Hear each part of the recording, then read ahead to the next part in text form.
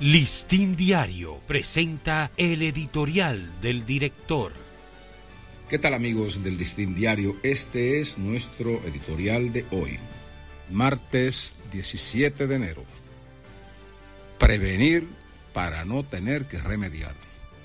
En la nueva oleada de contagios del coronavirus que afecta a la República Popular China, las autoridades han admitido que al menos 60.000 personas murieron por COVID desde diciembre. Esas muertes ocurridas en los hospitales no incluyen los fallecidos en las residencias, lo que hace presumir que la cifra es mucho mayor.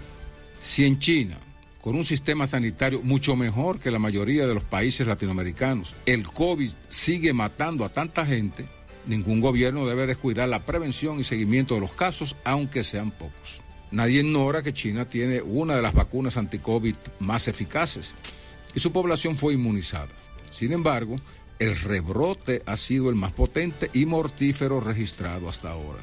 Esa experiencia debe servir de espejo a países como República Dominicana para no descuidar el rastreo de los casos positivos en el entorno familiar y comunitario.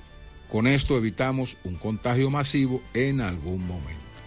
Hasta ahora, las autoridades sanitarias tienen un control muy discreto del COVID, lo que se refleja en las bajas cifras de pruebas diagnósticas.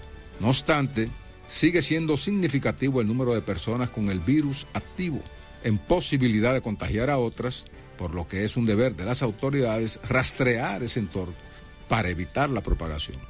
Todos quisiéramos que el COVID-19 desapareciera por las terribles secuelas que dejan los afectados pero mientras haya picos como los de China, Europa y Estados Unidos, no podemos ignorar sus amenazas.